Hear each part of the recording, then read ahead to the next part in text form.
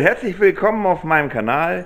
Heute wieder mit Tobi. Tobi ist wieder dabei. Tobi hat sich schick gemacht. Tobi war beim Friseur. So, ja, heute, worum geht es heute? Heute, äh, ja, muss ich hier einfach nur ein paar langweilige Reifen aufziehen, aber das will ich euch nicht zeigen. Ich will euch nur mal sagen, äh, die Projekte, die wir ja schon mal angekündigt haben, sind im Anlauf und die laufen und ich zeige euch mal auf jeden Fall eins, ein Projekt werde ich abgeben, das ist der Jahres, der wird nach Afrika gehen. Es ist halt so, weil die Kosten äh, über, ja, über das Budget gingen. Die haben wirklich die, das Budget gesprengt und das, was ich dafür wieder kriegen würde, kriege ich nicht mehr raus. Geht nach Afrika, ja, pff, normales Importfahrzeug, die Afrikaner freuen sich darüber. Ja, läuft. So, den schieben wir ab Freitag, dann läuft er weg.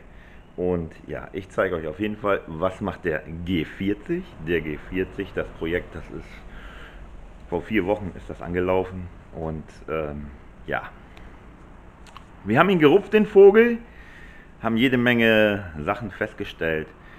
Schaut euch in der Zeit erstmal das Video an äh, wie Ihr G40 jetzt aussieht. Ja, ihr könnt euch das jetzt mal antun und dann werdet ihr sehen, was für eine Aufgabe wir uns hier aufgeladen haben. Viel Spaß dabei erstmal, wir sehen uns später wieder.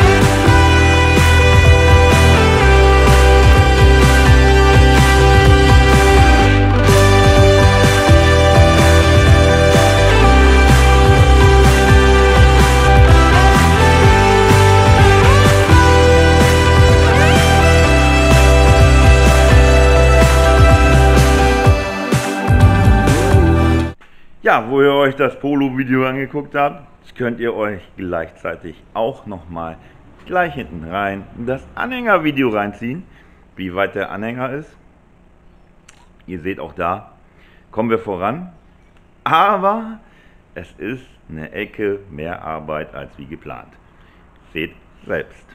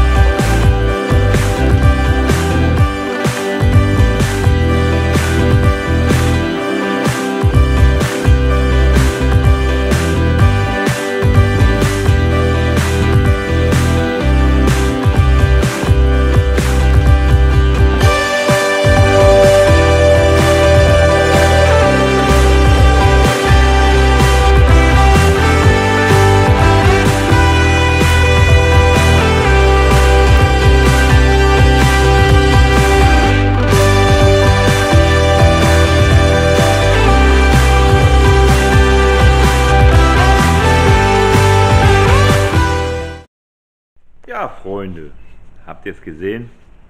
Jetzt mal zum Anhänger. Da sind noch ein paar Sachen zu schweißen, habt ihr ja gesehen. Das ist ja jetzt nicht so, ja, Rahmen ist halt wichtig. Das Holz ist bestellt, kommt nächste Woche.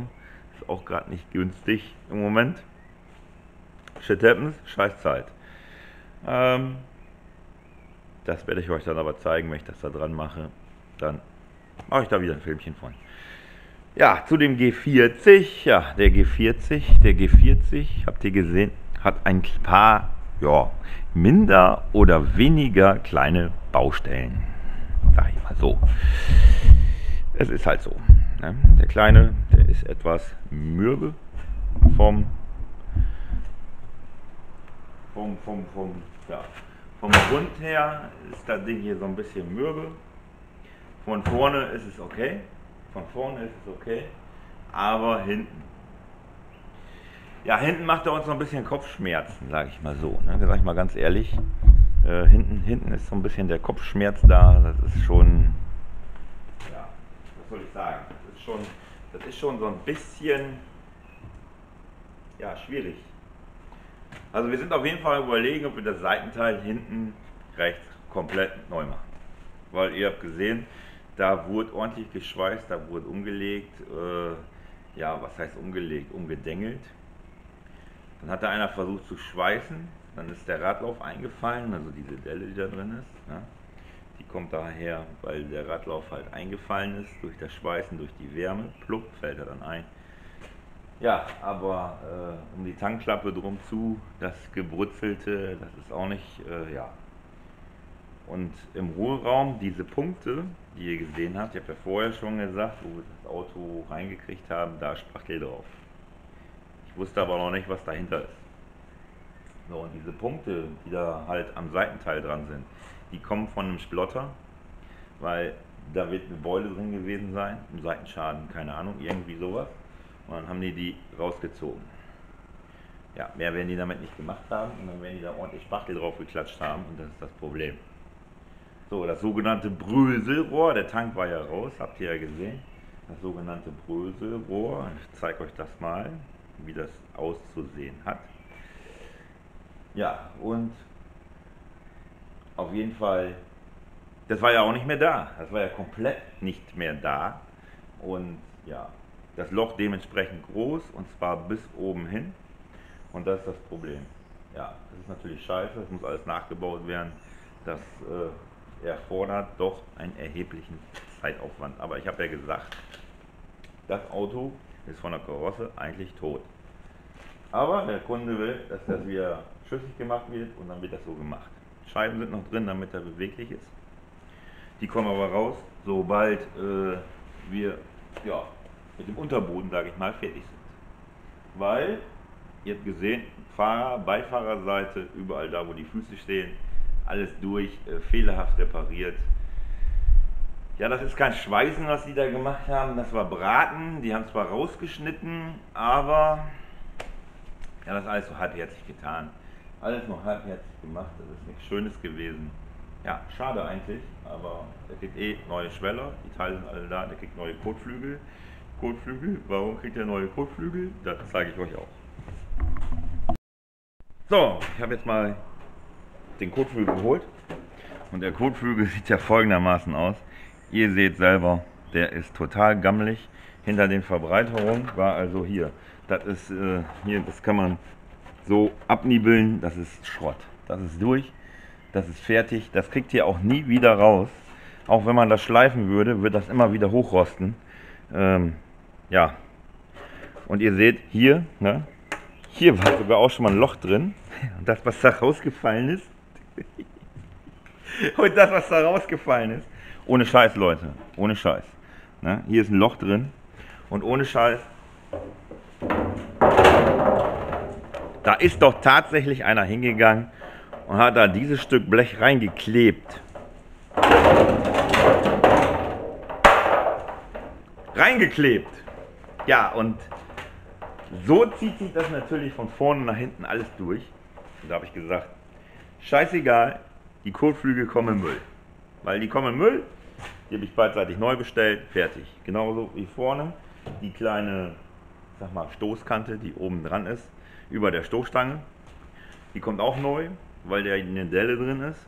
Ja, die kriegst du auch nicht raus. Machst eine neue rein, fertig. Ja, und dieses, diese Flickschusterei, die zieht sich komplett durch das ganze Auto. Das ist ja eben, was so schade ist. Dachleisten haben wir die waren angeklebt, der Dachspoiler war angeklebt. Ich gehe davon aus, das ganze Auto wurde schon mal lackiert. Das ganze Auto wurde schon mal lackiert, aber gut. Da können wir nun mal nichts dran ändern, wir müssen das Beste daraus machen. Weil die Türen kriegt er ja auch, aber von dem anderen. Die kriegt er gebraucht, von dem anderen Auto, die besser sind als die, die jetzt hier drin sind. Ist einfach so. Ist besser so. Motor ist auch noch drin. Der kommt auch noch raus, weil im Motorraum haben wir ja auch noch den ganzen Rost.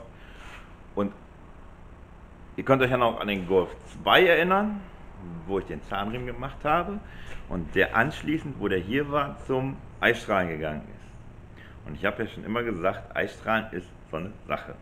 Das ist, äh, ja, Rost kriegt man erstens dadurch nicht weg, sondern nur den Dreck. So. Und wenn ich den Dreck runter habe, sehe ich den ganzen Rost. Ich zeige euch das mal anhand von Bildern, wie das Auto nach dem Eisstrahlen aussah. Guckt euch die mal an, das ist, sag mal, ein trauriges Bild.